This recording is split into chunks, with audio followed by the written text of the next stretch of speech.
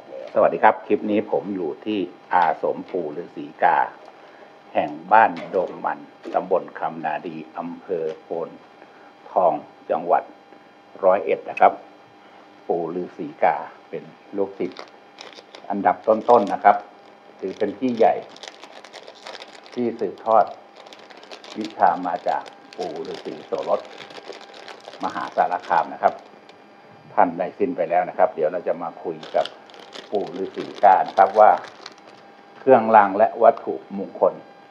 ของปู่มีอะไรบ้าง ใช้ดีด้านใดบ้างนะครับ ที่สำคัญคือผมหลงมาที่นี่ ตั้งใจมาขอมาใช้ฟรีนะครับ แล้วถ้าได้ผลนะครับ ไม่บอกต่อนะครับ จะเก็บไว้ใช้คนเดียวนะครับ หลายคนมาที่นี่แล้วนะครับ ได้ไปเขาก็ไอ้ที่บอกต่อก็มีนะครับ แต่ไอ้ที่ไม่บอกต่อ ก็มีเยอะนะครับ เดี๋ยวเราจะมาคุยกับปู่ฤาษีกากันนะครับ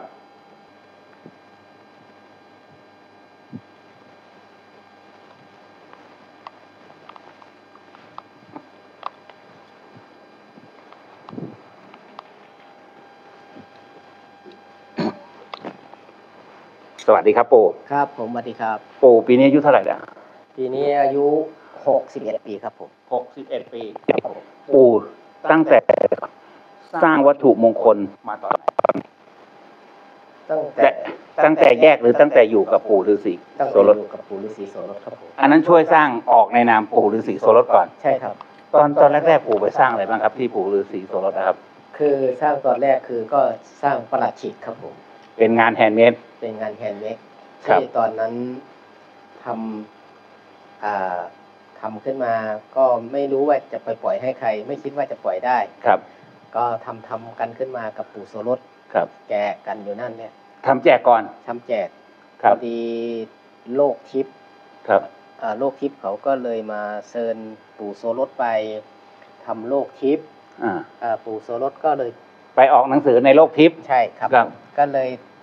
อาได้ประหลัดฉิกไปประมาณห้าร้อยกว่าตัวนี่แหละครับ ที่ติดกับกระเป๋าท่านไปด้วยครับ ท่านก็เอาไปครับโลกทิพย์ ก็ไปแสดงอิทธิฤทธิ์กันหลายหลายประเทศนะ ที่ครับเขามาแสดงแข่งกันครับอ่าที่เขาเอามาทำครับ ก็ คนอื่นเขาก็แสดงกันไปหมดแล้วเหลือปู่โสรสคนครับสุดท้ายครับ ปู่โสรสก็เลยทำพิธีอ่าเมษาครับ ท่านทำให้ฝนตกได้ครับ ให้ฝนตกกลางเดือนเมษาใช่ครับ แล้วก็เขาก็เลยเชื่อ เขาก็เลยมีอะไรวัตถุมงคลดีมั่งอ่าปู่ครับเขาก็เลยท่านก็เลยว่ามีมีตั้งแต่ประหลัดฉิกนี่แหละครับอ่าเขาก็เลยเหมาเอาประหลัดฉิกท่านหมดเลย ครับคนเอาไปใช้แล้วก็ทุกคนที่เขาเอาไปก็โอเคกันทุกคน ครับได้ดีกันทุกคน ครับเขาก็เลยตามมาครับเออติดตามมา ครับต่อมานี่ก็หนังสือพุทโธ เขาก็เลยมาซื้อสิทธิ์กับปู่ให้ครับ ทำวัตถุมงคลส่งให้เขาอย่างเดียว อ่า หนังสือพุทธนิตยสารพุทโธใช่ครับ ตอนนี้ไม่อยู่แล้วนะครับไม่อยู่แล้วอ่าก็นั่นแหละเขาก็ครับเลยมาถ่ายเอาครับของปู่ไป เขาก็ดังกันไปลูครักบศิษย์ลูกหาทุกสารทิศเขาก็ตามมาที่สารคาม ใช่มาขอปูปูต้องเหลาเหลามือเมื่อยเมื่อยมือเลยเนี่ยบางทีก็ทำไม่ทันเลยครับผมประหลัดจิกใช่ทำจากไม้อะไรครับตอนนั้นทำจากไม้ไม้คูนตายไผ่ครับ ไม้คูณตายพายครับ ไม้คูนตายไผ่ต้นนั้นก็ตอนแรกหลวงปู่คูณมาขอครับ มาขอกับปู่โสรสครับเออไอ้โสรสเอ้ย ให้กูขอมึงซะไม่คูนต้นเนี่ยอ่าหลวงพ่อคูณวัดบ้านไร่เนี่ยใช่ครับ ครับ หลวงปู่โสรสก็เลยบอกว่า โอ้ย หลวงปู่เสียวไปเฮ็ดหยังโอ้ยกูว่าสิเอาไปเฮ็ดอันอ่าสมเด็จพระยาคุณตอนนั้น โอ้ย ลูกก็ว่าสิเฮ็ดอยู่ปูตอนนั้นหลวงพ่อคูณยังเป็นหลวงพี่อยู่นะครับใช่ยังหนุ่มๆอยู่ใช่ครับ ก็ตอนนี้กับพอดีก็เลย เออคันมึงสิเฮ็ดกูก็บ่เอาดอกลูกเอ้ยอะให้สู้ผ้ากันได้เฮ็ดได้สร้างซะเด้อครับ ก็พอดีก็เลยไปเอาต้นคูณต้นนั้นน่ะมามาทำมาทำประหลัดขิกครับ ก็นี่แหละก็ดีดีดีมาเรื่อยครับๆ ก็เลยเอามาสร้างศาลาได้เงินมาก็เอามาสร้างศาลาช่วยท่านครับ จนเสร็จครับ นั่นแหละครับผมลูกศิษย์ลูกหาทุกสารทิศก็รู้จากท่านไกลไปไกลไปเรื่อยครับๆคนก็หลั่งไหลเข้ามาครับ ท่านก็เลยบอกว่าลูกเอ้ย อะไรพ่อก็ทำให้ลูกหมดแล้วครับคาถงคาถาอะไรให้พ่อก็ให้ตัวหมดแล้วครับตำลงตำลาพ่อก็มอบให้หมดแล้วครับ ถ้าลูกอยาก จะกลับก็บ่เป็นหยังครับ อยากจะกลับบ้าน พอแล้วใช่ครับ ก็พอผมกลับมา ครับ ไม่ถึงไม่ถึงครึ่งวันไม่ถึงวันท่านก็โทรตามให้ไปก็ไปครับ ติดก็ไปไปมามาอยู่อย่างนี้ครับ ครับ ปู่เริ่มมาสร้างเองตอนไหน ก็เริ่มมาสร้างเองก็เมื่อ ตอนนั้นยังไม่ได้สร้างนะแต่ตอนที่ผมกลับมาจากปู่โสรถแรก ๆ ผมก็มาก็แค่สวดมนต์ไหว้พระเอ่ออยู่ที่ในบ้านครับที่ในบ้านหลังที่บ้านครับเอ่อเขาก็บอกว่า เออผีบ้าครับเขาก็หาว่าเราเป็นบ้า เป็นบ้าไปแล้ว ใช่อ่าหาว่าเราเป็นบ้าผมก็ไม่สนครับเออใครจะว่าเราบ้าก็ช่าง เราก็ไม่ได้บ้าเราก็ไม่ได้ไปสร้างความเดือดเนี้ยร้อนใจให้ใครเราก็ครัทำบอยู่ของเราครับ พอดีต่อต่อมาก็ผีบ้าบอกหวยถูก ปู่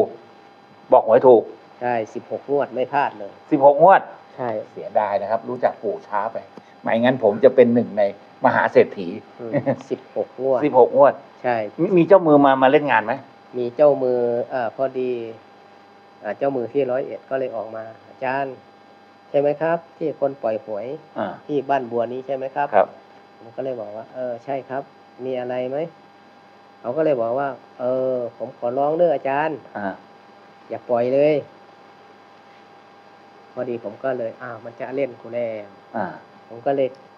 หนีครับ กลับไปอยู่กับที่กับอาจารย์ครับสามเดือนครับพอดีกับพอดีทักษิณเขาครัมาบทำหวยออนไลน์ครับเออโอเคจะกลับบ้านได้ เจ้ามือไม่เจ้ามือไม่เสียหาย รัฐบาลรัฐบาล ตอนตอนถวยออนไลน์ถูกเยอะไหมก็ถูกก็งวดถูกงวดไม่ถูกนั่นแหละครับ นั่นแหละครับพอดีก็ต่อมานี่ก็ ไปมามาก็มาทางทำเป็นทางวัตถุมงคลครับ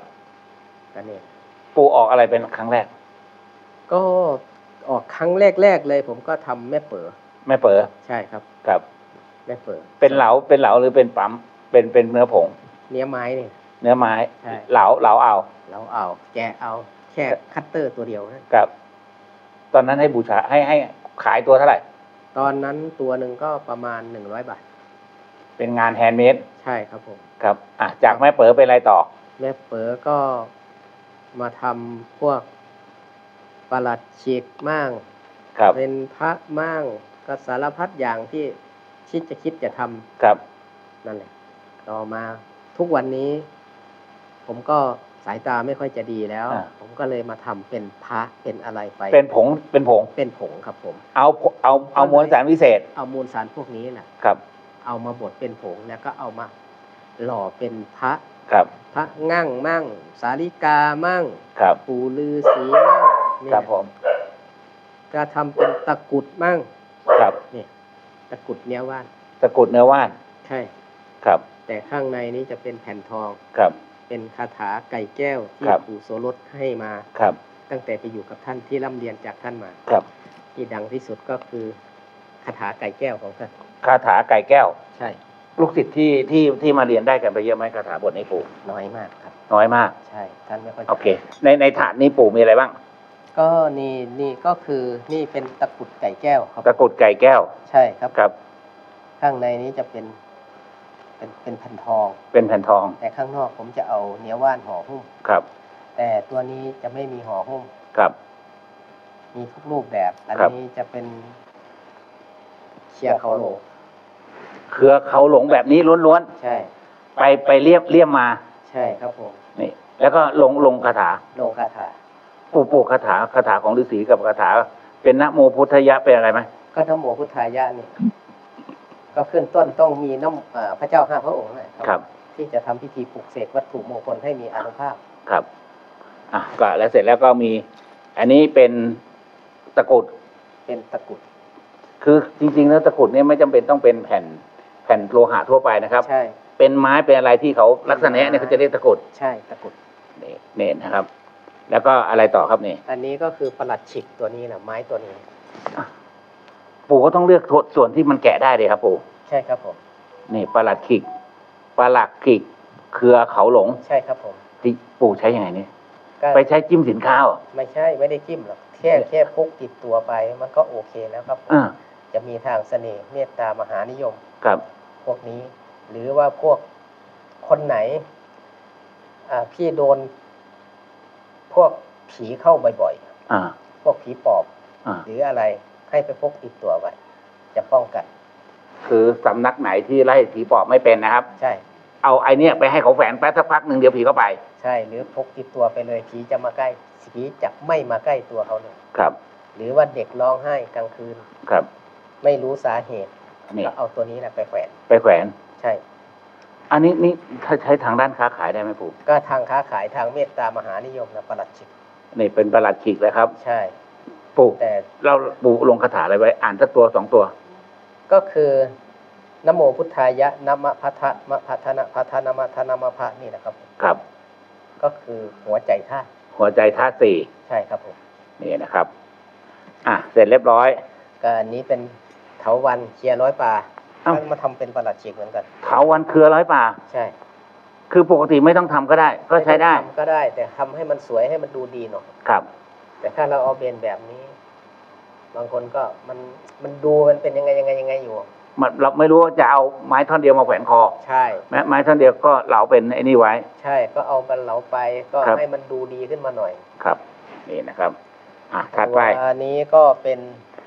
นกถือถือ นดถือถือใช่เป็นเป็นเนื้อว่านนะครับ เนื้อว่านครับผมนี่ปู่ปั๊มเองทุกอัน ทุกอันอันนี้อันนี้เพ้นสีให้มันดูดี แต่ตัวนี้ไม่ได้เพ้นปกติ เอาใจเอาใจสายมูต่างประเทศ ใช่เขาชอบแบบเพ้นสี เพ้นสีครับผมครับ แต่ตัวนี้ธรรมชาติอันนี้ปู่ปั๊มเองทำเองเลี่ยมเองไหมเลี่ยมเองทำเองเลี่ยมเองด้วย นกใช่ถือทูของปู่นี่ใช้ดีทางไหนทางมหาเสน่ห์ทางเล่นการพนัน เสี่ยงโชค เสี่ยงโชค เขาเรียกว่าเสี่ยงโชค ใช่ หรือว่าทำค้าขายครับ พวกนี้หรือเหมาะกับผู้หญิงทำงานกลางคืนครับนี่นี่นะครับอันนี้นี่ตัวนี้ก็มันจะมีพวกอ่ามูลสารเหล็กไหลหลายหลายๆอย่างที่ครับเอามาทำครับ ตัวนี้ก็พระง่างหรือเขาจะเรียกว่าพระง่างพระชัยนั่นแหละพระชัย ใช่หรือใส่ฤาษีเขาเรียกพระชัยหรือพระงั่งใช่ครับฤาษีเขาเรียกพระชัย พระชัยวัดครับผม นี่พระชัยครับเป็นทาง มหาเสน่ห์หรือป้องกันตัวนั่นแหละครับผมครับ อันนี้ก็เป็นปู่ฤาษีปู่ฤาษีทำด้วยเนื้อว่านคือจริง ๆ แล้วเนี่ยรูปลักษณ์ภายนอกเนี่ย ไม่เหมือนกัน ไม่เหมือนกัน แต่เนื้อหามวลสารเหมือนกันเหมือนกัน สำหรับคนชอบพระงั่ง ชอบฤาษีชอบนกถือถือใช่ อันนี้อย่างเดียวกัน อย่างเดียวกันครับอะเสร็จเรียบร้อยปุ๊บในหมวดของสีพึ่งก่อน อ่าอันนี้สีพึ่งอะไรครับปู่เอ่อสีพึ่งนี้ตัวนี้มันจะเป็นสีพึ่งสาลิกาครับผมครับนี่ครับ ครับ นี่ครับผม แต่นี่มีอะไรบ้างครับปู่จะเป็นพวกเนื้อว่าน ครับว่านพวกว่านมหาเสน่ห์ว่านอีดอกทองว่าน อุดมทรัพย์ว่านครับอะไรหลายหลายอย่างที่เอามารวมกันมาบดแล้วก็เอามาทำอันนี้ตลับเท่าไหร่ถ้ามาเอาที่นี่หนึ่งบางคนไม่มีผมก็ให้ตลับละหนึ่งร้อยบาทอ่าแต่บางคนที่เขานี่ผมก็บอกว่าสามร้อยเก้าเก้าถ้ามาเอาที่นี่สำหรับคนไม่มีร้อยหนึ่งร้อยหนึ่ง แต่อย่าไม่มีทุกคนนะครับ แต่ เดี๋ยวจะไปไปเสียบจะเป็นไปขับปาก ไม่ใช่หมายถึงว่าบางคนจะถามผมใช่ไหมครับ ผมก็บอกว่าเท่าไหร่ปู่ อ่า ผมก็บอกว่าสามร้อยเก้าเก้าครับ ก็แล้วแต่ถ้าไม่มีร้อยหนึ่งก็เอา ครับ เขาอยากได้ครับก็ต้องให้เขาไป ครับ บางคนก็ให้ไปฟรีคือถ้ามาถ้าใครมาวันไหว้ครูวันที่สิบแปดเมษาๆแปดเมษายนนี้จะมีพวก วัตถุมงคลให้ใส่ขันครูให้ทุกทุกๆคน ให้ทุกๆคน ใช่ทุกขันครูร้อยเก้าเก้าหรือแล้ว แล้วร้อแต่ยยี่สิบสี่บาท ถ้าใครอยากได้เยอะเป็นพิเศษนะครับ ให้มาวันไหว้ครู วันไหว้ครูสิบแปดเมษาครับสิบผมแปดเมษาเตรียมตัวตั้งแต่ปีหกเจ็ดเลยนะครับ ครับผมปีหน้ามามาเลย มาเลยครับผมคือถ้ามางานปู่ฤาษีนี่ได้หลายปู่นะในช่วงนั้นอะบอกงานหน่อยมีใครไหว้ครูบ้างอาปู่ฤาษีโสรถวันไหน ปู่ฤาษีโสรถวันที่สิบ สิบเอ็ดครับผมสิบเอ็ดเมษาครับผมสิบเอ็ดเมษาอะพาไปเที่ยวไปเที่ยวอีสานสักสองสามวันไปปู่ฤาษีคัมภีร์คำพีร์วันที่สิบสี่ครับผมเมษาสิบสี่เมษาครับผมสายฤาษีปู่โสรณีก็จะมาอ่าแล้วของปู่วันที่วันที่สิบแปดครับผมสิบแปดครับช่วงนั้นถ้าใครจะมาไหว้ปู่ก็มามาเที่ยวอีสานก็ไปได้ทุกสำนักได้ทุกสำนักปู่ปู่ฤาษีทุกสำนักฤาษีที่ไหว้ครูนี้เขามีวัตถุมงคลเป็นที่ระลึกให้ มีทุกทุกๆคนมีทุกทุกๆสำนักครับผม ในในพานไหว้ครูใช่ครับผม นี่นะครับอ่าเสร็จเรียบร้อยเราเข้าหมวดน้ำมัน อันนี้มันจะเป็นน้ำมันว่านไก่แดง น้ำมันไหว้ว่านไก่แดงน้ำมันว่านไก่แดง ครับ แต่ว่านไก่แดงนี้มันก็จะมีอนุภาพของมันอยู่แล้ว ครับ ตัวนี้จะมีดีในตัวของเขาครับทางเมตตามหาเสน่ห์ครับผมครับตัวนี้ครับทำธุรกิจทำมาค้าขายนี้โอเค หรือว่าพวก สายนวด ใส่เป็นนิดเดียวนะครับ เป็นกระสายแล้วเขาจะติดใช่อ่าสายนวดครับผมขอให้เขาได้แตะแค่มือเรานิดเดียวเอาไปนวดให้เขา โอเค ลูกค้าจะจะติดใจแล้วกลับมาอีก กลับมานวดอีกใช่ครับ ไม่ใช่กลับมารักนะกลับมานวด กลับกลับมามานวดอีกใช่ครับครับอ่าอนุอนุว่านไทยปู่อันนี้ จะเป็นว่านอีดอกทองครับ ผมสกัดออกมาครับผมครับ อันนี้จะเป็นพวกเขาวันเชียร์เขาหลงตัวครับผู้ตัวเมียครับ ยัดอยู่ข้างในนี้ครับนี่นะครับ เป็นเป็นวัตถุมงคลเป็นน้ำมันว่านที่ปู่ปู่ปรุงเองปรุงเองครับ ครับผม ไม่ได้ไปเอาปรุงเองหุงเอง ใช่ไม่ได้ไปหาเอาน้ำมนต์ปรุงน้ำมันผีมาทำครับ ไม่อันอันนี้ไม่มีสายสายดำไม่มีครับนี่นะอันนี้อันนี้หรอเท่าไหร่ อันนี้ก็หนึ่งร้อยบาทครับหนึ่งร้อยบาท ใช่ว่านนี้เก่งกว่าผีครับ ดีกว่าพายครับอ่าคือถ้าเราศึกษาตำราว่านนะครับ เป็นที่คนเล่นว่านเขาจะรู้ รู้ครับผม ว่านที่ดีก็มีว่านที่ไม่ดีก็มีครับอะเราเอาแต่ว่านทางเมตตามหาเสน่ห์มาทำครับ ปู อะหมวดเหล็กไหล อันนั้นอันนู้นสัตว์นู้นดำๆนู้นอะไรปู ก็อันเดียวกันครับผม อันนี้มามาคุยไว้ยังอันนั้นนี่นี่นี่อันนี้ อันนี้คุยใหม่นะครับ อันนี้เป็นพวก เหล็กไหล หรือว่าทางพวกเมตตา หรือป้องกันตัวก็ว่าได้ครับครับตัวนี้ครับ ตัวนี้มันจะเป็นเหล็กไหลดูดซับครับผมครับ ตัวนี้ หายาก ตัวนี้มันจะมีพวกคนทันรักษาอยู่ ครับ ตัวนี้ครับผม มันจะมีดีในตัวของพวกเขาอยู่แล้วครับผมครับ เราก็เอามาทำพิธีปลุกเสกถ้าเราจะทำพิธีปลุกเสกวัตถุมงคลเหล็กไหลให้มีอนุภาพ มันก็จะมีคาถาของเขาอยู่ครับคาถาของเขามันก็ไม่ยาวนะ เอาครับใครจำได้ก็จำเอานะครับ มันจะมีว่าอุปุสัมโทโมสัมธนะพุทโธนะโมพุทธายะนะอุดโมอัดพุทยัดยะติด นี่เป็นคาถาคาถาปลุกเหล็กไหลให้มีอนุภาพ ปกติในตัวเขามีอนุภาพใช่ดูแล้ว ดูแต่แล้วแต่ถ้าเราจะให้เจ๋งขึ้น จะให้เก่งขึ้นก็มีคาถาปลุกเหล็กไหลให้มีอนุภาพเพิ่มขึ้นอีกนี่นะครับนี่ สำหรับคนที่อยากได้ว่านไอ้ไหนเครือร้อยปลาท่อนท่อนละท่อนละห้าร้อยก็ละห้าร้อยบาทครับผมนี่ท่อนละห้าร้อยนะครับ แต่ว่าถ้า ใน Google ผมเข้าไปเชิญดู แค่นี้ห้าพันห้าพันห้าพันเลยครับ ไม่ได้ขายตัดราคานะครับ ไม่แต่ได้ขายตัดราคาครับแต่รู้ที่มา รู้ที่มาครับผม เพราะว่าคือให้ได้ผมก็ให้ได้ อันนี้ครับ มีแบ่งปันครับผมมีมีมีขายไม่ต้องแบ่งปันนะเออมีครับผม นี่อ่า นั่นแหละพวอักนสายสักสายนี้ก็เอาไปแช่น้ำมันสัก เอาไปแช่น้ำมันสักแค่ท่อนเดียวก็โอเคแล้ว ก็โอเคแล้ว หรือว่าพวกเกกิครูบาอาจารย์ที่ครัจะบ เอาไปผสม หงสีพึ่งครับ ทางเป็นพวกพญาปากเข็ด หรือตาทิพย์เขาเจ้าใครเขาก็หากันเยอะซะเหลือเกินครับ แต่ส่วนมาก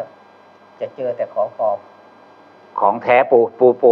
บอกดูไว้ดูหน่อย ถ้าของแท้มันจะมีใยแบบนี้นะครับผมนี่นี่มันจะมีใยบางนี้นะ